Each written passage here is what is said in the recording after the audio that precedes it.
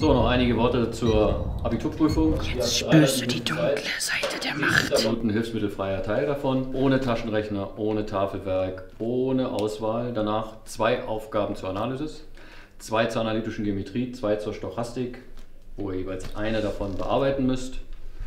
Wir als Lehrer kennen die Aufgaben auch noch nicht. Wir treffen uns am Prüfungstag um sieben, schauen kurz rüber und besprechen dann, wer welche Aufgabe durchrechnet und treffen uns dann am Nachmittag, um die Erwartungsbilder abzugleichen. Ich denke und hoffe, ihr kriegt das hin. Schönes Wochenende.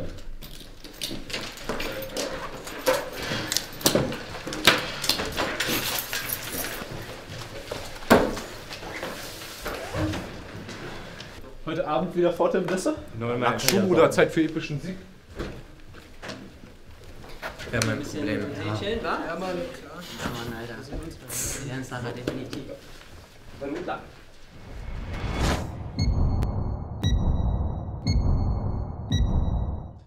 Die Lehrer kennen die Aufgaben nicht. Das schaffen wir nicht. Diesmal nicht.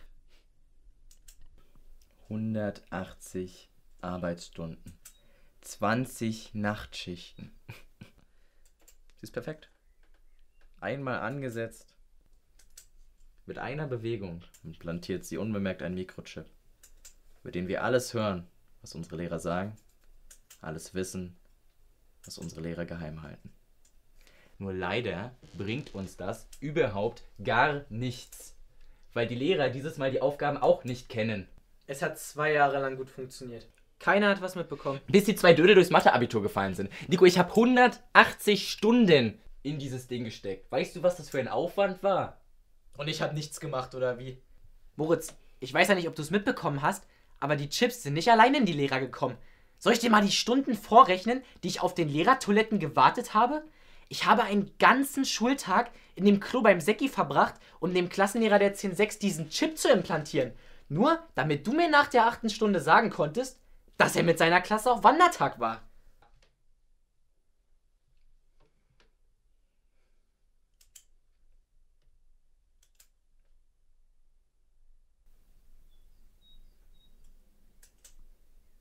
Wenn der Umschlag vom Ministerium am Prüfungstag um 7 Uhr geöffnet wird, Und wenn man davon ausgeht, dass die Beamten im Ministerium nicht gerne früh aufstehen, was sie nicht tun, dann käme man zu der logischen Konsequenz, dass der Umschlag bereits vorher an die Schule übergeben wurde. die Aufgaben des Matheabiturs liegen jetzt gerade fertig ausgearbeitet, irgendwo versteckt in der Schule. Wir wissen nur nicht wo. Kein Schüler weiß das. Wir müssen ihn fragen.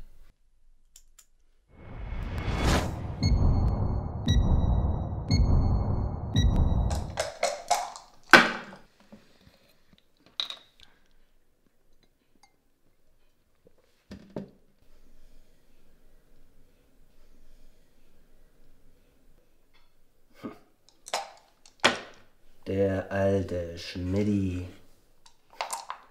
Der Captain Hook der Angeläden. Ja gut, seine Hand wurde nicht vom Kroko abgebissen, sondern vom Fußhupe. Hä? Nein, eine Fußhupe, so ein kleiner Dackel. Weißt du, was ich meine? Ja gut, eigentlich war es eine Infektion, aber klingt ja nicht so cool, ne? Jedenfalls hat er jetzt ein neues Logo dran, ne? Das sieht echt geil aus. Das leuchtet so. Und wie sieht das Logo aus? Ja, ein Fisch halt. Sein Angelladen.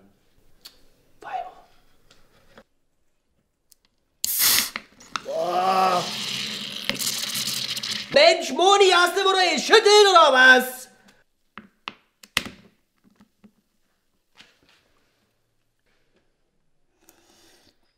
Warm ist es auch noch! äh. Mann, ey, Weiber.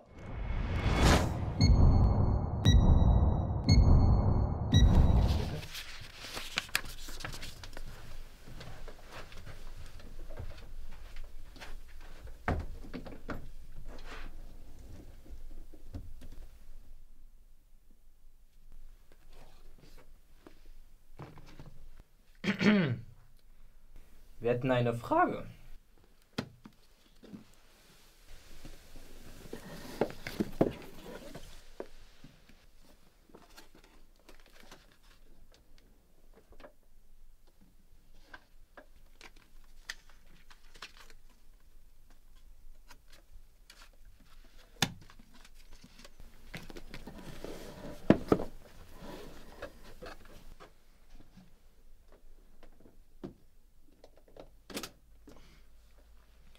Wo befindet sich der Umschlag des Ministeriums mit den Aufgaben für das Matheabitur?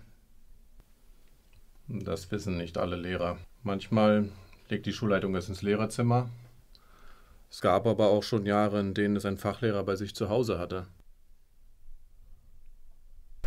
Okay, also ich lenke Sie ab und du suchst nach der Prüfung. Sag, wir haben eine fachliche Frage.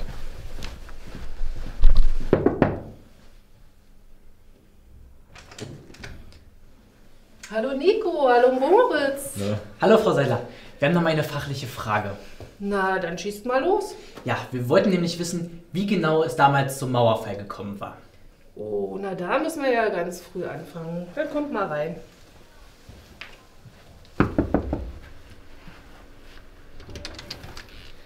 Hallo, wir haben noch mal eine fachliche Frage. Ja? Kommt noch was? Ja, setz dich, Nico. Ja, womit fangen wir denn an? Also ich denke, das hat eigentlich alles schon mal was mit dem Limes zu tun.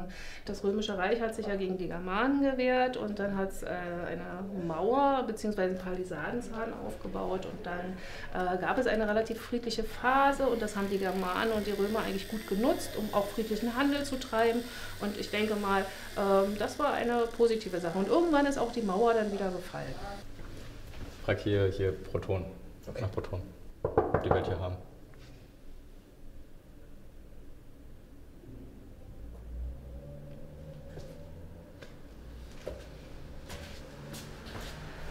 Ja, im Prinzip begann alles in den 40er Jahren. Ne? Das Problem war an den Kohlerevieren, die Weber hatten wenig Geld und äh, äh, daher gab es natürlich dann irgendwo Hungersnöte und die arteten aus in Aufstände. Natürlich wurden die niedergeschlagen, aber wenn man äh, die Zeitungsberichte und so gelesen hat, dann hatte dann mal, kam es wirklich bis nach Berlin und äh, dass äh, die Weber und vor allen Dingen natürlich die, die in den Kohlerevieren waren, äh, wirklich schwer äh, an dieser ganzen Misere zu tun hatten und ähm, wirklich am Hungertuch nagten. Und dann kam. Bei Proton machen nicht auf. Frag mal nach Alkohol.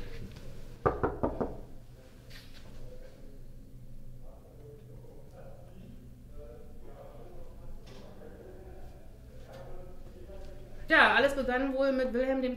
Ne? Die Politik von ihm war ja doch eine ganz andere als Bismarcksche und beide konnten nicht miteinander und von daher war das, das schon ein großes Problem für das Deutsche Reich. Es äh, war nicht mehr möglich, dieses stabile Deutschland in einem Europa, was den Frieden schafft, äh, zu halten, sondern Wilhelm hat es geschafft, ein militantes Deutschland aufzubauen und dann in den Ersten Weltkrieg zu führen. Also ich denke mal, ähm, das ist zumindest ein ganz wesentlicher Faktor dafür gewesen, äh, dass der Erste Weltkrieg begann. Ja, ja. Dankeschön, Dankeschön. Mhm. Wenn wir in dem Tempo weitersuchen, dann hat mein kleiner Bruder sein Abitur von mir. Wir brauchen jemanden, der weniger redet. Herr Mansura, wir hätten da mal eine fachliche Frage. Nee, haben sie nicht.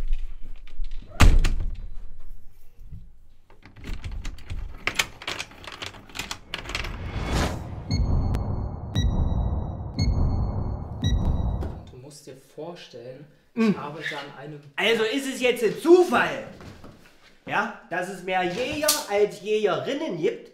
Natürlich ist das kein Zufall. Aber nur weil es mehr Jäger als Jägerinnen gibt, heißt es nicht, dass Biathleten besser schießen als Biathletinnen. Aber es gibt auch mehr Soldaten als Soldatinnen.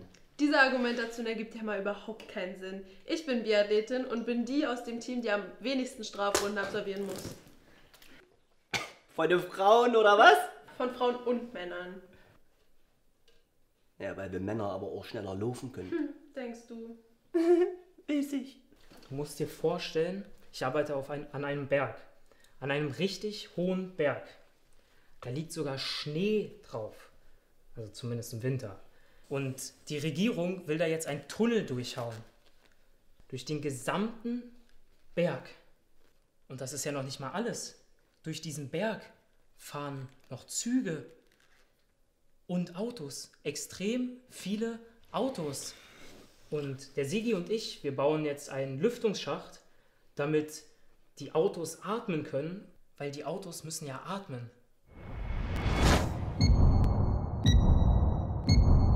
Die Lehrerzimmer waren ein richtiger Reinfall. Bleibt uns wohl nichts anderes übrig, als bei einem Lehrer zu Hause zu suchen. Weißt du denn, wo ein Lehrer wohnt? Du nicht? Nein, woher denn auch? Wo denn? Wollen wir da wirklich einbrechen? Wir haben keine andere Wahl. Wir müssen dahin.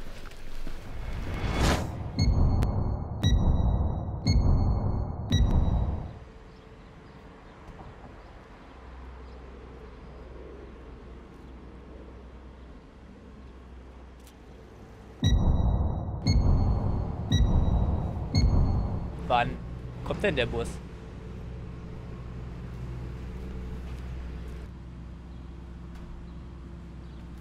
Jeden Augenblick.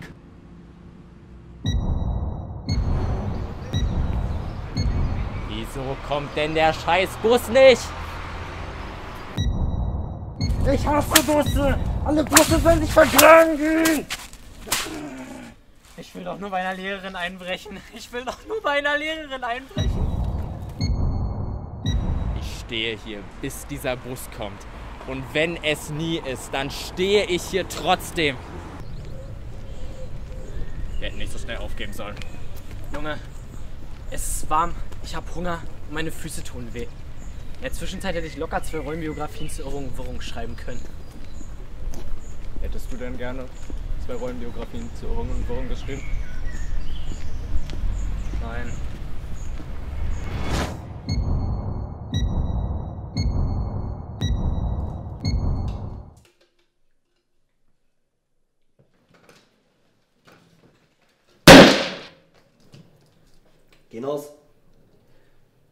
Die Aufgaben müssen heute Abend noch stehen. Da bin ich ganz deiner Meinung. Also, was haben wir? Naja, also du hattest doch da mal was erzählt von diesem komischen Logo oder sowas, nicht wahr? Der von deinem Freund aus dem Angelladen. Der Schmidti. Der Schmidti, der Schmidti. Ja, hier ja, oh geil. Also, ich schreibe das jetzt mal hier auf. Der scheiß knifflige Lumpe hier. Also, pass auf, der Fisch, der sah ungefähr so aus. Ne? So, und da sind. Was machen wir eigentlich? Mathe. Mathe, Mathe, Mathe. Hätte auch Bio sein können. Mathe 2019. Gut. Das ist auf jeden Fall schon mal super äh, für Analysis. Äh, nee. Ja. Gut. Noch was? Ich hätte noch eine Aufgabe zur Stochastik. Stoch was? Stochastik? Also, ja. Und, und Ah, noch was? analytische Geometrie, da hätte ich auch schon einen Plan. Weil ich habe ja meinen Lüftungsschacht gebaut und den können wir für die analytische Geometrieaufgabe benutzen. Gut. Einmal frei? Haben wir's oder was? Geil. Prost.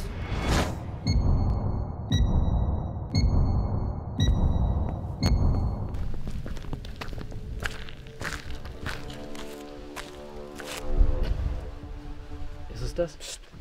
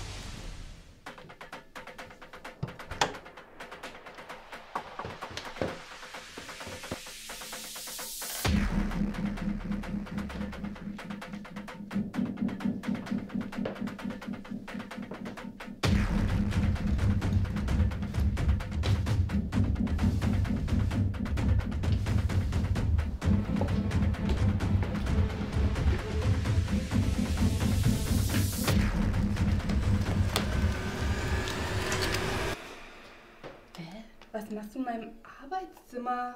Deine kleineren Geschwister schlafen schon lange. Hallo Nico. Hallo Moritz Mutter. Und in meinem Haus die Mütze ab.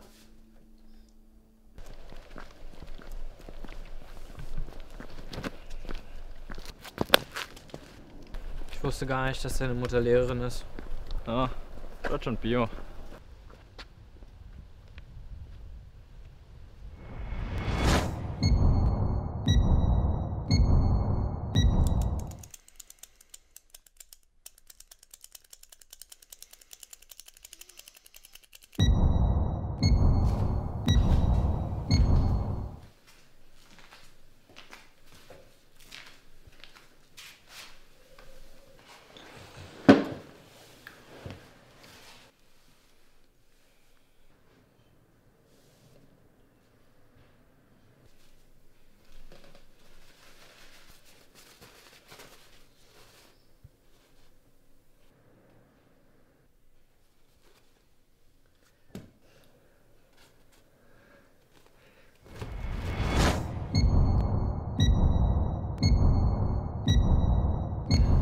Lest genau, schreibt bitte auf jedes Blatt euren Namen.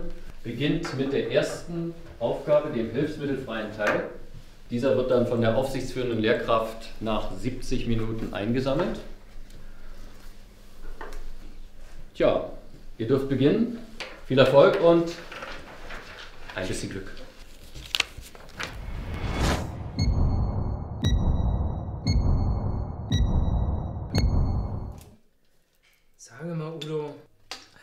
Kannst du mir noch mal deine Aufgabe mit dem Fischlogo erklären? Ich meine mal, der Fisch hat Streifen. Aber wenn die nicht leuchten, dann sieht man die im Dunkeln doch sowieso nicht. Sag mal, Olaf, deine Bergaufgabe verstehe ich auch immer noch nicht. Was hat jetzt ein Lüftungsschacht mit der Eisenbahn zu tun? Und sowieso sollten wir nicht etwas Romantik reinbekommen? Ein bisschen morgendlicher Frühnebel, Vögel oder Sonnenstrahlen? Äh, nee. Aber. Ja, ja, ja. Oh, wir haben sind kacke. Ja, richtige Scheiße. Nee. Ja, müssen wir uns nochmal ransetzen.